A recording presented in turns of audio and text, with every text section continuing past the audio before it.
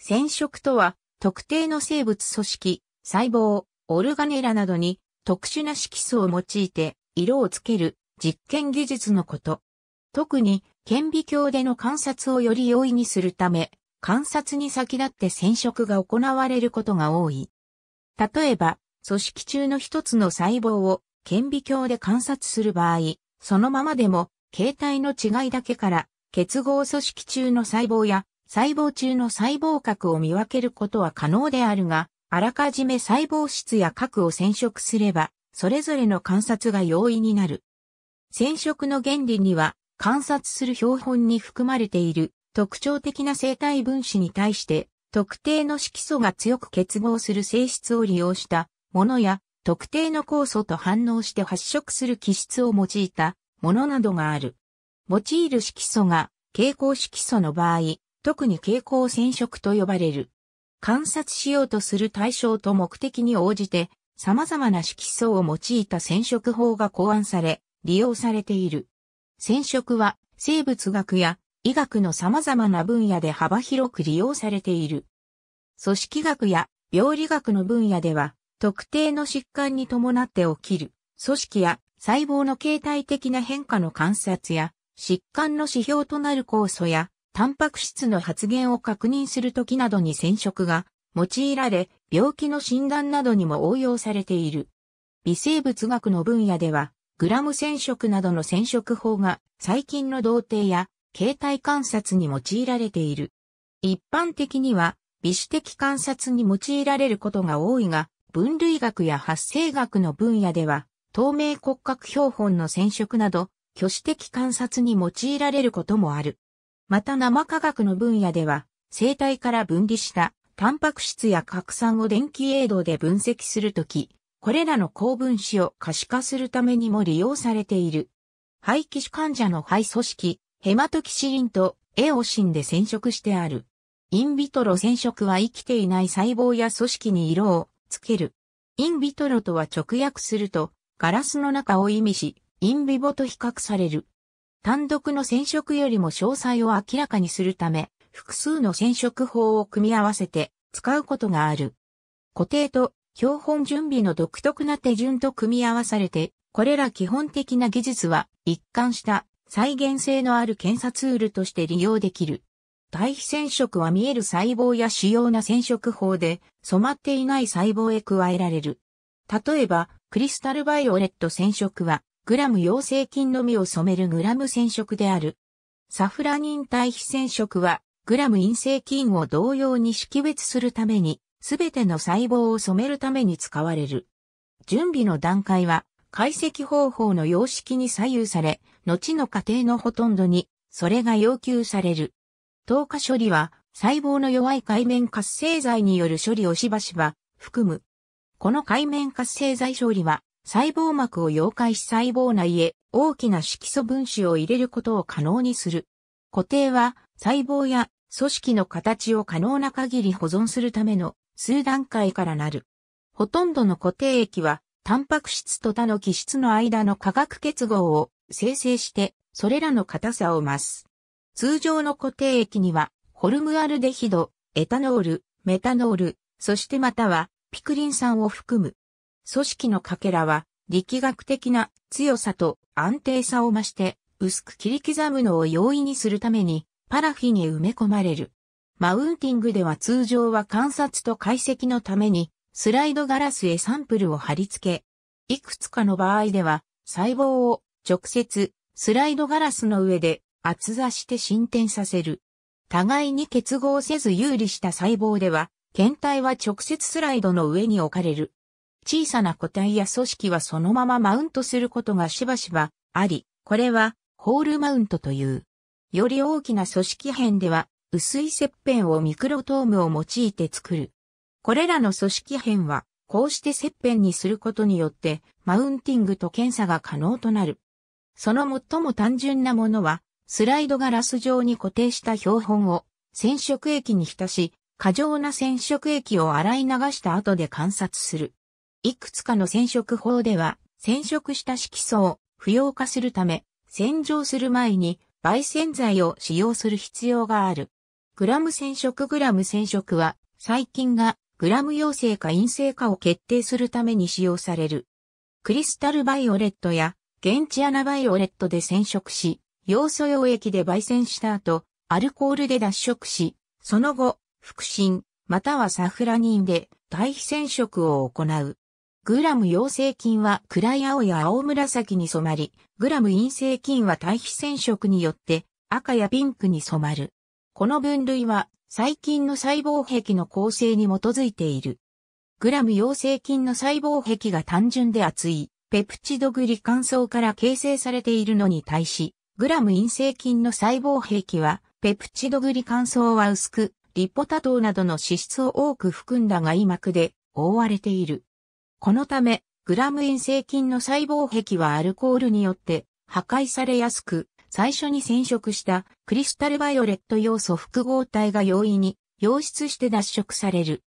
チールネールゼン染色チールネールゼン染色は、グラム染色のような標準的な検査室の染色手法では染まらない結核菌、非結核性抗酸菌などの染色に用いられる。金体を赤いカルボール腹心で背景をメチレンブルーやマラカイトグリーンなどで染める。ヘマトキシリンエオシン染色ヘマトキシリンエオシン染色は組織学で組織白変を見るのによく使われている。ヘマトキシリンは青紫色の色素であり、これに染まる組織をヘマトキシリン構成あるいは抗塩基性という。具体的には細胞核、骨組織、軟骨組織の一部、消液成分などである。エオシンは赤ピンクの色素であり、これに染まる組織をエオジン構成あるいは抗酸性という。具体的には、細胞質、南部組織の結合組織、赤血球、繊維素、内分泌下流などである。特に赤血球はエオシンを強く吸収して明るい赤に染まる。青卵色に染まることもある。エオシンはエオジンとも。マッソントリクロームマッソントリクロームは三色染めの手順である。そのレシピはマッソンの最初の異なった特有の利用法から発展したものだが、すべてが周囲の結合組織から細胞を見分けるのに適している。ほとんどのレシピは、扁平上皮細胞のケラチン、筋細胞の筋原繊維、繊維層を赤くし、コラーゲン基質と骨基質を青や緑に染め、大抵の細胞の細胞質を明るい赤に、細胞核を黒く染める。ロマノフスキー染色ロマノフスキー染色は還元したエオシンとメチレンブルーの組み合わせをすべて基本とする。この仲間には、ライト染色、ジェンナー染色、リーシュマン染色、ギムザ染色、メイギムザ染色がある。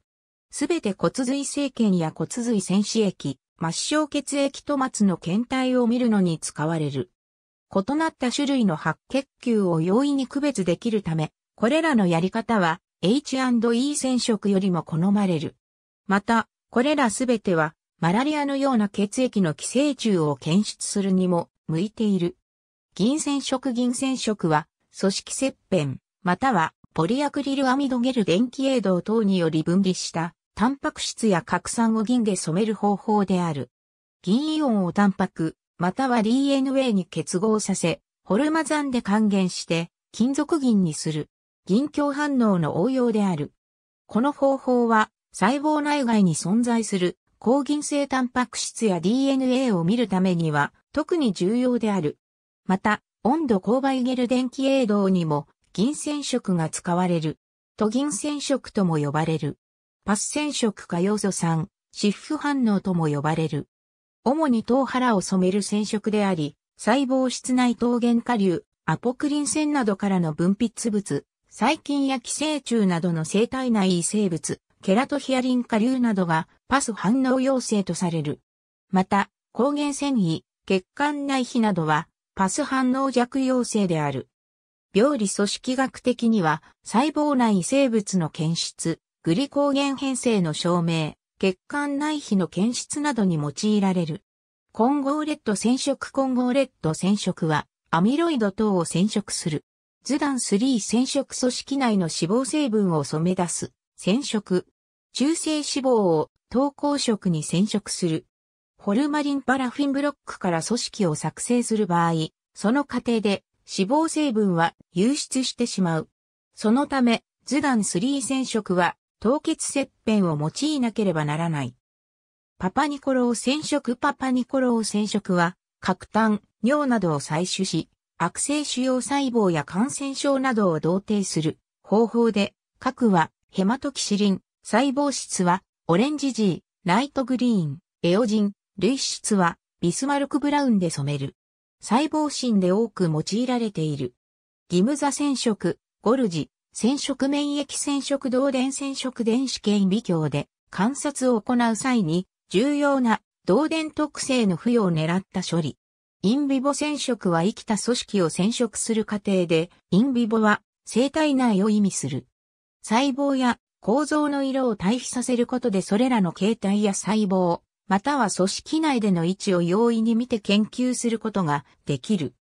通常の目的は他の方法では明らかにならなかった細胞学的詳細を明らかにすることであるが、染色は特定の化学物質や特異的な化学反応が細胞や組織の中で起こっているのを明らかにし得る。しばしば、それらの染色は生体染色と呼ばれ、細胞が生きているうちに色素が生体内へ取り込まれる。しかしこれらの色素は多くの生物にとってはやはり毒であるので望む効果を出すには色素を非常に薄めて1、5000から1、50万の範囲で使用しなければならない。インビボ用の多くの染色法が色素の使用濃度を変えれば生きている細胞と死んだ細胞のどちらにも使える。染色に用いられる色素には様々なものが知られている。これらは、それぞれ細胞や組織の異なった部分に反応、集中し、それらの性質の違いは特定の部位を明らかにすることに役立つ。よく知られている染色剤を下へ示した。特に断りがない場合、その色素はすべて固定された細胞と組織に使用され、生体色素であることは記述した。ビスマルク・ブラウンは酸性無賃を黄色くする生きた細胞に使用できる。カーミンはグリコーゲンを強く赤に染める染料である一方で、アルミニウムを媒染剤として使用すると核を染める。クマシーブルーは、タンパク質を一食い的に強い青に染める。R-250 と G-250 の2種類がよく用いられる。R-250 は各種の電気映動後、タンパク質の位置を検出するのに用いられる。簡便なタンパク質染色法であるため多用されるが、感度は銀染色よりも大幅に劣る。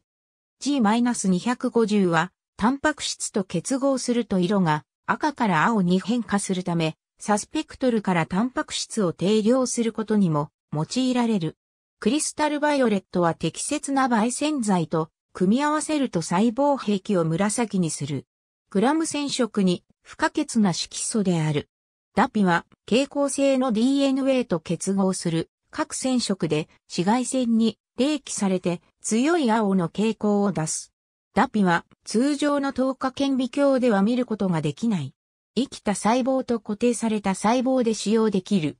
エオシンはヘマトキシンの対比染色に最もよく用いられ、細胞質、細胞膜、一部の細胞外構造をピンクや赤に染める。これは赤血球には強い赤色を与える。エオシンはグラム染色の対比染色や他の多くの手順にも使うことができる。二つの非常に禁煙な化合物がエオシンと呼ばれている。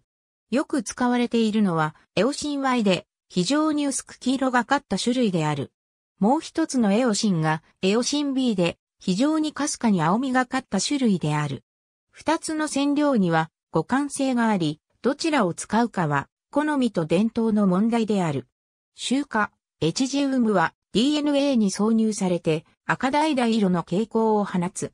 しかしこれは健康な細胞を染めることはできず、膜の透過性の高いアポトーシスの最終段階にある細胞を検出するのに使われる。結果的に、臭化、エチジウムは細胞群の中のアポトーシスとゲル電気映像での DNA の位置を示すマーカーとして使われる。腹心はコラーゲン、ヒラナメスジ、ミトコンドリアなどの染色へ使うことができる。これはよくマッソントリクロームの一部として使用される。腹心は塩基性と酸性が存在し、パス反応には塩基性腹心が用いられる。ヘマトキシリンは各青紫、または茶色に染色し、焙煎剤が必要である。組織学で共通して使われる方法の一つである、ヘマトキシリンエオシン染色において、エオシンと共に、いつも使用される。ヘマトキシリン色素で核を、青紫色に、エオシン色素で細胞質を赤光色に染色することで、ホルマリン固定パラフィン包埋された組織の薄切り標本を染色する方法が全世界的に普及している。光学顕微鏡を用いた組織学的研究や病理診断などで最も一般的に用いられている染色法であり、染色法の頭文字を取って HE 染色とも略称される。またヘマトキシリン染色は免疫組織科学を行った後の各染色にも広く用いられる。ヘクスト33258とヘクスト33342は禁煙の蛍光色素である。